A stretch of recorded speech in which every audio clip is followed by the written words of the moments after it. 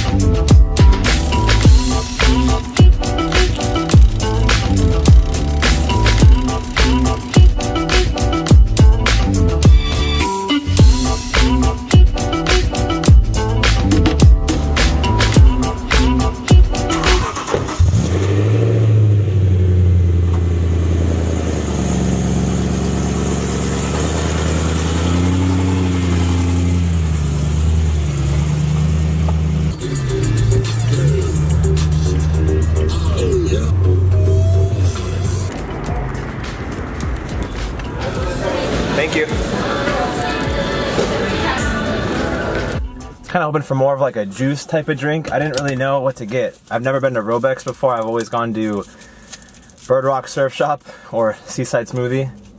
And I just, uh, I didn't have enough time to look and I want to go ride my bike because I'm burning daylight right now and it is way too hot today. Wow.